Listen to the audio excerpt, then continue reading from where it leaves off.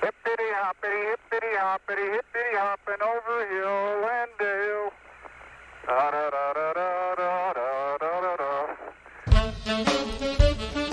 Has man really been to the moon? It's been 50 years, and the debate rages on. For the first time, a film compiles in a single piece of work all the best evidence in favor of the moon landings and the evidence contrary to them. I russi sono stati zitti perché? Nessuno se lo sa spiegare. What's this? A reflector. In fact, it's called a retroreflector, made up of many tiny prisms just like this.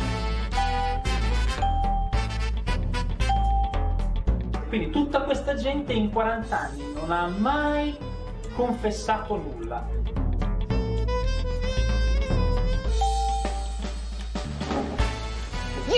Look at that. We made a footprint inside of a vacuum.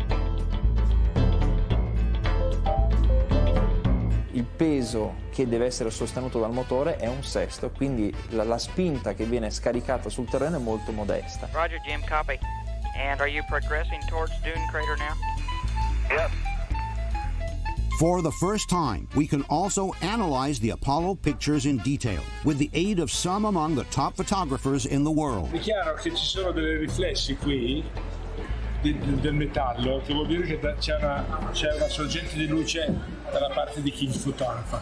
La luce viene da dietro al modulo, no? Eh, L'astronauta o presunto tale è al buio totale e è illuminato. Perché?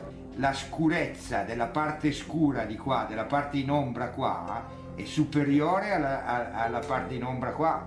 Quindi queste ombre che vanno di qua e questa che va di qua non ha senso, vuol dire che il sole è qua, cioè a qualche metro di distanza. Questo è proprio da, questo è proprio da incompetenti, eh, chi l'ha fatto.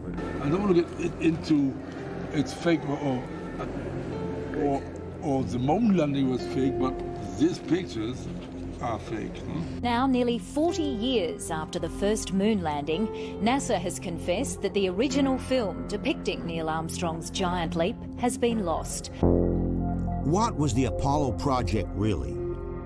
The biggest achievement in the history of mankind or the biggest fakery of all times, watched on live television by more than half a billion people?